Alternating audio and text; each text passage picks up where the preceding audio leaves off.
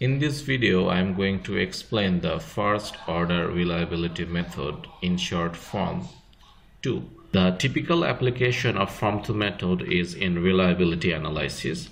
The reliability of a system R can be defined with these expressions where PF is the probability of failure, phi is the standard Gaussian CDF, and beta is called the reliability index or the safety index. The main application of Form 2 is to evaluate the value of the reliability index for a system. Usually the accepted value of the safety index is 3 or above 3 and the value of 3 corresponds to a reliability of 0.99865 which is very close to 1.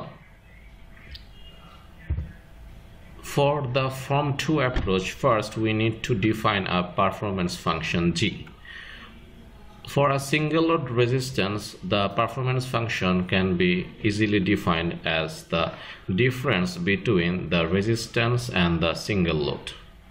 Let's look at an example.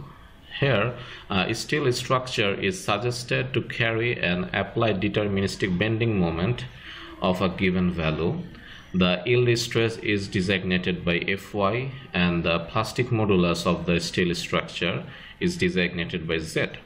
Then from this expression we can have the, our performance function where the resistance yield the, is the product of the yield stress and the plastic modulus and minus the single load which is the bending moment.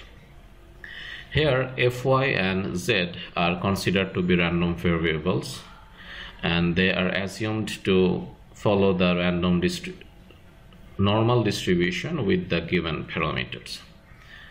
Now what form method do? As we can see in the first step the performance function is defined and then through a sequential number of steps a new value of performance function is calculated and the number of iteration is conducted until the performance function becomes zero. So the termination criteria is the performance function to have a value of zero. What it actually means? It means that the performance function has met the critical point where the resistant meets the load or the where the resistance is equal to the load. And this is the critical point. Now from the final iteration we can have the corresponding value of the random variables. And this point is known as the most probable point or in some cases critical point. And we can also have the information on the reliability index which here is 5.151 which is way above 3 and which suggests that the system is very reliable